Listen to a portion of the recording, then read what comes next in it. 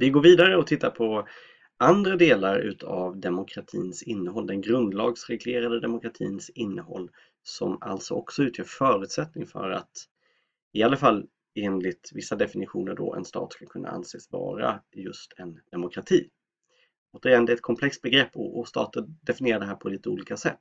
Det kommer vi se alldeles, alldeles strax faktiskt ett exempel på att demokratiska stater inte alltid lever upp till alla de här sakerna och de kanske ändå kan anses vara demokratiska. Ja, kroppslig integritet och rörelsefrihet är det vi, vi ska prata om och det regleras i andra kapitlet, fjärde till åttonde paragraferna i regeringsformen. Och det första där, eh, fjärde paragrafen i andra kapitlet handlar om dödsstraff, förbud mot dödsstraff.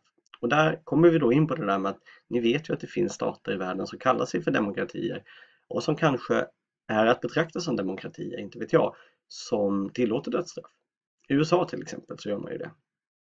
Eh, och jag bidrar inte med något slags svar på frågan huruvida de är demokrati eller inte på grund av det, men jag vill att man på något sätt ändå problematiserar kring det. Vad finns det för problem med att staten kan ta ett människoliv?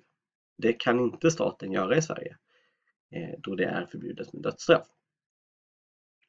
Eh, förbud mot kroppsstraff och tortyr. Kroppsstraff, det vill säga att staten använder maktmedel emot oss och Eh, i form av eh, till exempel våld som gör att vi får en skada eller någonting sånt.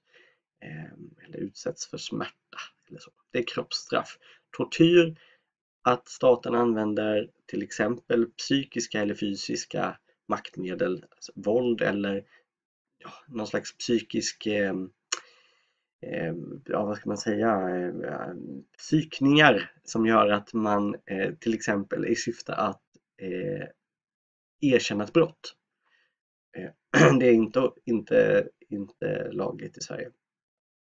Ja, vi, vi kan nog förstå det om det inte är lagligt att, att liksom slå någon för att den personen ska erkänna ett brott till exempel. Men det är också då det här psykiska, det är inte okej att liksom hålla någon eh, inspärrad och, och avskild från, från allt vad omvärld heter under allt för lång tid till exempel för att tvinga fram ett erkännande då det kan anses vara tortyr. Och här får Sverige lite kritik ibland faktiskt för att vi har ganska långa eh, häktningstider eh, då man sitter i väntan på att domstol ska döma huruvida man har begått ett brott till exempel. Ehm, och det skulle man kunna koppla till tortyr. Ehm, och det här framgår då av femte paragrafen, andra kapitlet regeringsformen.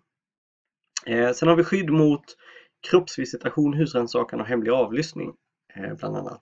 Kroppsvisitation, det vill säga att eh, staten och dess myndigheter inte får kroppsvisitera oss. Det vet vi att staten och dess myndigheter får göra för att precis som med de andra fri och rättigheterna jag pratade om i form av opinionsfriheter så finns det inskränkningar, det vill säga begränsningar av de här fri och rättigheterna. Eh, så att har man lagstöd, vi kommer återkomma till det snart, har man lagstöd, alltså det står uttryckligen i lagen att man får göra eh, utföra kroppsvisitation, ja då får man göra det i just de lägena där det är okej. Okay. Samma sak med husrannsakan. Man tar sig in i någons hus eller på ett företag eller så för att leta efter någonting. Det får inte myndigheterna göra om de inte har uttryckligt lagstöd för det. Och samma sak med hemlig avlyssning av till exempel telefon. De får inte, myndigheter får inte utan att ha stöd i lagen avlyssna vår kommunikation. Så Det måste finnas en lag som uttryckligen säger att det är okej okay att göra det i, vissa situationer för att de ska få göra det.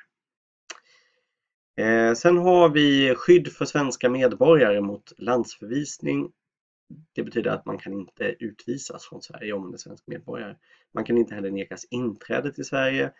Där framgår sjunde paragrafen första stycket, andra kapitlet fortfarande regeringsformen. Och man kan inte heller fråntas medborgarskapet. Så har man ett svenskt medborgarskap så kan man inte bli av med det. Och det framgår av andra stycket. Sen har vi en garanterad rörelsefrihet eh, och den garanteras då genom till exempel förbud mot frihetsberövning.